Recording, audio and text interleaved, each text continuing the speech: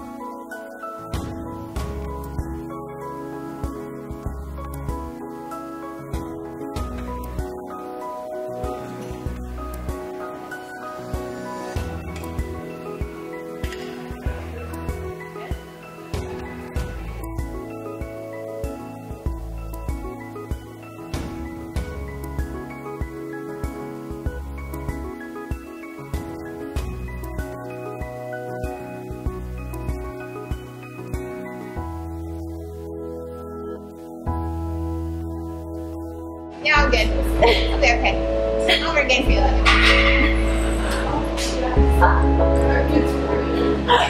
Okay. Good. Good.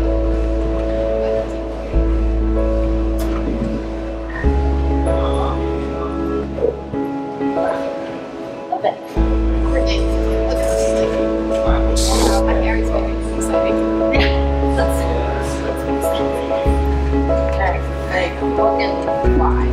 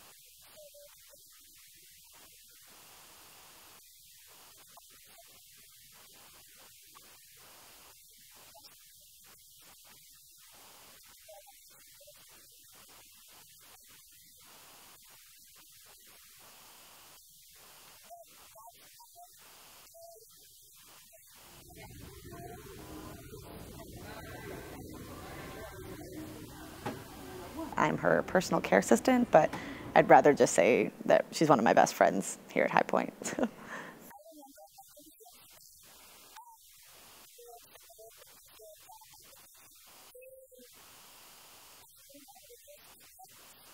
daily like if it's say my day to like help kings um, you know i would come in the morning i'll try to like rise her from the dead from her bed um, you know help her get up get ready for the day and throughout the day we might you know grab lunch and obviously those aren't things that i would clock in for we just get lunch together.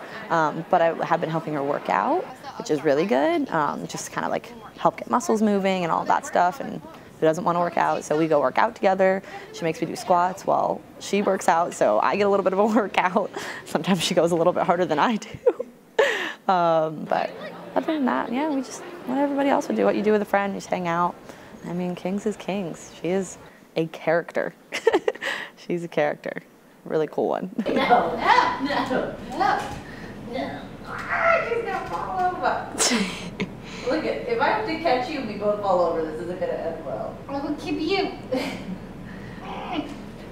okay, seriously, can we do that promise? Yes.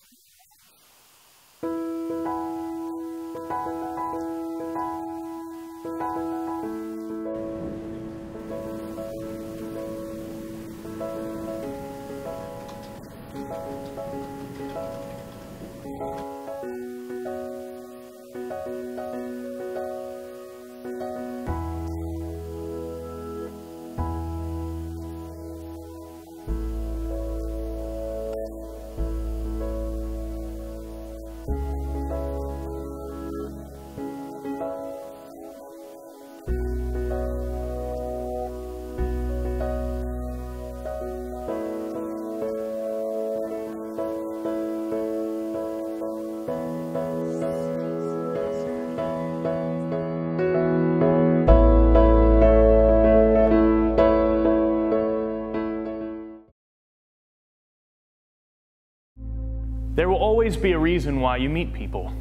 Either you're meant to change their life or they're meant to change yours. Six months into his job at the library, David learned this lesson. This is his story. This story always had such an impact, and for different reasons throughout the years, which I find to be, I find to be interesting to have a story that you can go back and reflect on every now and then. Uh, I know most people do, but sometimes, you know, those stories are not as impactful or they are as impactful as time goes by. But this is one of the stories that has stayed with me for years. Um, I hadn't been in High Point but about six months.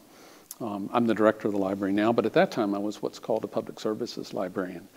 And public services librarians are reference librarian. They help people find things. They do classes. They show people how to use resources. And this was a real quiet afternoon. Uh, so I had a class I had to do, and it scared me to death because the class was in chemistry. I finished the handout and I thought it was really good. So when I got done, I had, I had two stacks of papers. There was about 20 kids in the class. So I had 40 papers. I, I needed to go ahead and collate them and put them together. And I remember I was, I remember I was sitting at the reference desk going, because wow, I'd, I'd, worked most of the day on this. And I thought, gosh, you know, I, I, need to staple these together. And I looked up and I remember we had a student worker at the desk. And he was very, very quiet. And in, he was reading a book, he was studying, he was taking notes and so forth. So I took the papers and I thought, great, I'll go over and I'll, I'll just ask him if he, if he would be okay to, to staple these together for me. And so I went over to the desk and um, I said, can, can you help me real quick? And, and he looked up and he just nodded his head. And I said, well, I've got, I need to have these stapled together. And I've, I've got a front page here, you know, it's page one and two, and then page three and four here. So I'd, I'd like the two put together and then stapled. And uh, he looked at it and, and I set the papers down and I went back to my desk. And a few minutes later, he sets the papers down, and I look over at the papers, and I noticed that he's taking the page one and page two and page three and page four, lay them on top of each other, and then stapled the whole stack on the corner. And I remember at the time I went, gosh, well, I just didn't explain myself well. Okay. So I, I, flipped it over. I took the staple out and finally got them separated. And I separated the two stacks and I took them back to him and I said, you know, you, you misunderstood me. I'm really sorry. Um, I want this page on top of this page collated, one and two and so forth. And then I want it stapled on the corner. And he took the papers. I went back to my desk, and this time it was, it was a little while before he came back, so I thought that was a good sign.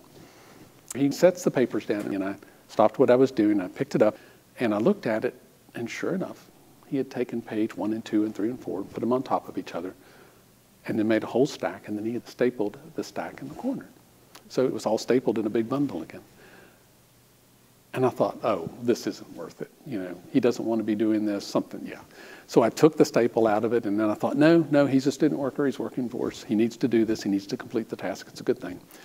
So finally, I went back over to him with the stack in hand, and I said, I'm really sorry. I've explained myself so poorly here. I said, what I want is I want page one and two and three and four right on top of each other, collated. And then I'd like them stapled on the corners. And I set, this, I set the stack back in front of him again, I thought, well, this is fine. So I went back to my desk and I sat down. A few minutes later, he walked back over, not nearly enough time. And when I looked down at the papers, he sure enough had put the first and second over the third and fourth page, just like I'd asked, collated, and then he'd stapled them on all four corners. So I had a stapled package of papers. And I was just incredulous at the time. I was just like, why would he, why would he do this?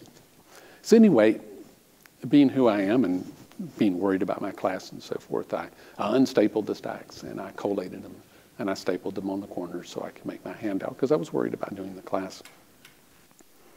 So it was sometime after that, the next week or so, that I found out that um, that after the next the next day was a weekend day, and um, this gentleman had gone out and, and attempted suicide um, on one of the fields at High Point College, and he attempted, he did not succeed. And when I found out about that, I was like, it taught, it taught me a lesson right then and there, and that is to pay attention to the people around you.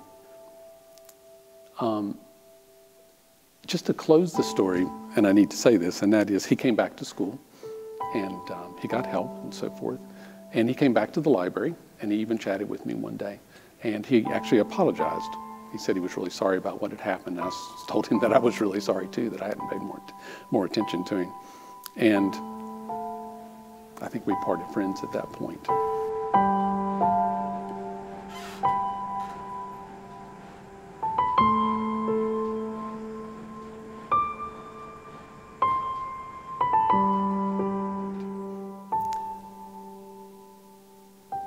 Years later, as I've looked back on that story, and I've thought, would I have done something different knowing what I know now? I don't know that I would have. Everyone gets so caught up in their day to day life that it makes it really, really hard for us to look at someone else and take the chance of saying, Is there a problem? Is there something you need help with? Do you need to talk? I don't know if you've ever seen To Kill a Mockingbird, the movie, which is just a wonderful film if, if you haven't, but um, there's a part in there where Atticus Finch, Gregory Peck, is talking to Scout, his daughter, and says, you know, she's had a really, really bad day at school. And um, she's asking Atticus, why do people have to act the way they act? And, and Atticus says, well, you know, until you get into a person's shoes and walk around, you don't know what they experience and you don't know what they do or why they act the way they act. And it's really, really true.